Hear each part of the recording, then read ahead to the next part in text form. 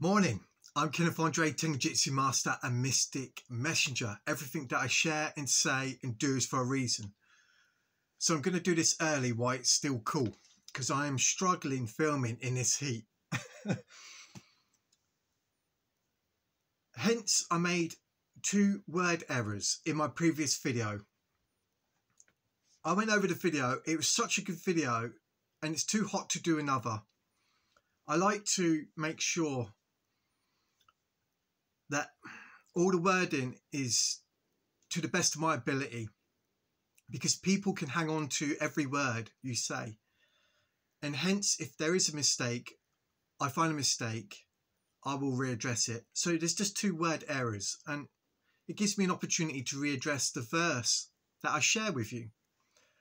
For example, in Hebrews 11.3, through faith we understand that the worlds plural, worlds, were formed by the word of God, so that things which are seen are not made of things which do appear. This is where I made the mistake. And I think that's because I'm aware of the different translations. And sometimes when I rush in, it come out wrong.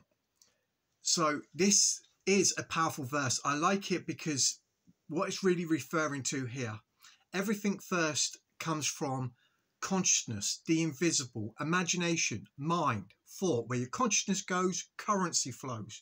Where your imagination goes, reality flows.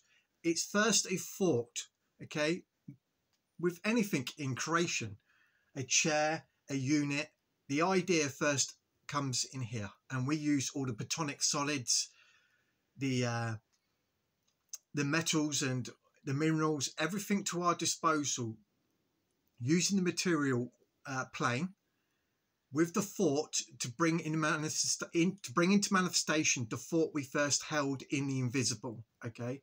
Now we're doing this on a whole nother level in erecting mansions, rooms, worlds. Okay.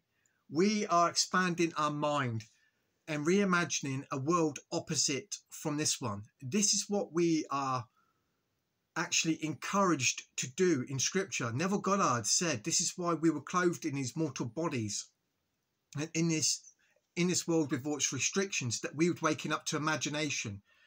It's like a school.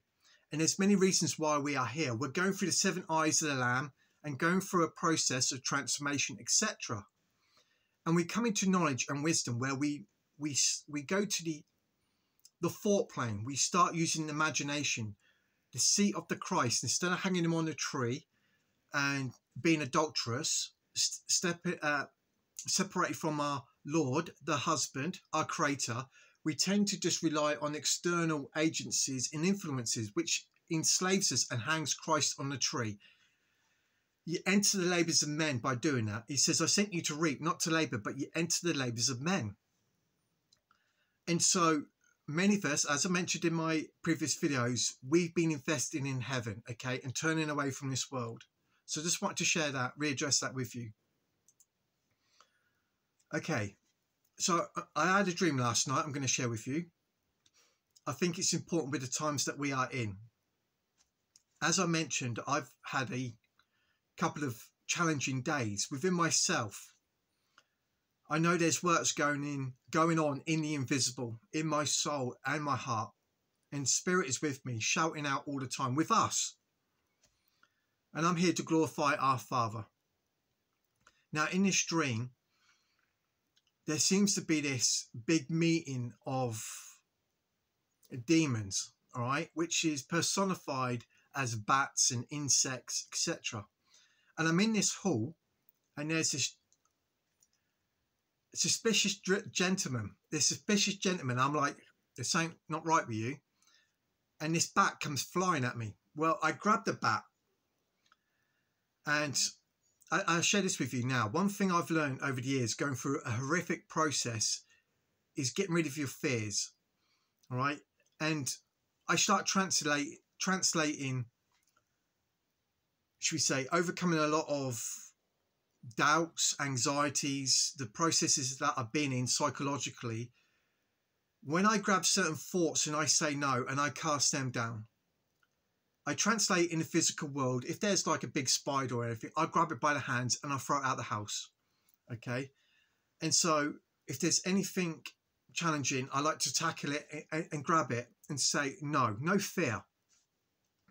And so this was actually also presented in my dream where I grabbed the bat. I grab this bat and I open its wings and I can see this picture of hell in its wings. Well, I literally screwed up the bat like paper and was like, yeah, no, I'm not dealing with that. Well, not, I'm not um, accepting that. so I threw this bat away. Then I go down this corridor and I go in this huge hall and it is full of these gentlemen. All right. And they're, they're in this square shaped and they're like having this ritual, this meeting, and there's this music playing. And it's like they all turn to these bats and insects. And I go over to, and I, well, first I go into the room and I remember saying something, but it's spirit. This is not me. This is spirit. I'm a, I'm witnessing and observing spirit. And he's basically like shouting, you're in trouble, right? No more, so to speak. And I go into the corner and there's this box, this music box, and it's playing. And this gentleman's there trying to protect it. Now, no one gets up to face me because remember, I said, no one can harm you, no one will go near you or touch you, as mentioned in the Bible. And I go over to this corner and this gentleman tries to stand up, in which that's not going to happen. I don't mean that egotistically, just with knowledge and wisdom.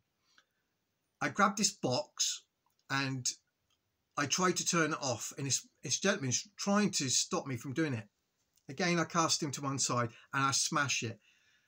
And so this music cube, now smashed, I noticed everyone started disappearing, dispersing, and it just literally disappeared. As I'm leaving the room, this gentleman turns to me and he sort of says, Who are you? And I get this language, this word in the dawn okay? Like the breaking of the dawn. So that's the dream keeping it very basic. And to me it's spirit saying he's here now. It's the end of the evils. The dawn is breaking. Father is going to do a new thing. So i just wanted to share that with share that with you okay? Oh, it's starting to get hot already. Right. So today we got the moon at three o'clock Again, there's three o'clock. Hopefully you can see that. In the harvest tool of Pollux in Gemini at three o'clock today. All right. And we've got, and this is another thing I said. Okay. The second thing I, the error word, I call Cancer Capricorn. I don't know why I keep calling Cancer Capricorn. That's like, what? Yeah, so we got uh, the sun in Cancer. And Cancer with the hive cluster, beehive cluster. This is tied to heaven, right? As well as Uranus. Uh, there's a word connected to it, which is heavenly, heaven. So we got the moon in Pollux, in Gemini, right on the tool of the harvest, uh, the harvest tool, okay? And then I've got this to share with you. So keep watch, be alert. Then on the fourth, now remember, fourth means door. And again, it, this shift, this supernatural transformation can happen at any time now. And, and I, I know many of us feel it after everything we've observed and gone through. Okay, so on the fourth, we've got Venus going into Regulus, moving towards Regulus. Now, Regulus is, I keep it very basic because of my research, it will take too long to explain the connections with, with the things that I know in connections what we are seeing. So Venus moving literally next to Regulus. Regulus is tied with the gods, the 144,000, the angels that are in that are in the host body system, and next to it we have Mercury, which is wisdom connected to both. right? So there you can see. right? Venus, love, next to Regulus, which is connected to the 144,000, the gods, the angels in the host body system, next to wisdom. We're, we are like the five virgins with our vases of wisdom. And that's on the fourth. And we actually have, I can't zoom that in. Yeah, I can. Also, if you look carefully, we have now the new moon right next to the sun, right before Leo, the line of Judah. All right, with now Venus, love in its heart, with wisdom. Now I can see why I'm sharing it. Powerful symbolism. Okay, so that's all I have for you for now. Any more comes in today, I will keep you updated. It is so hard, and I do apologise for the couple of errors. I always go over these videos to make sure it's it's to the best of my ability to give great value. It's all there to keep you uplifted and to help with revelation and understanding. I'm Kenneth Andre, Tengujutsu Master and Mystic Messenger.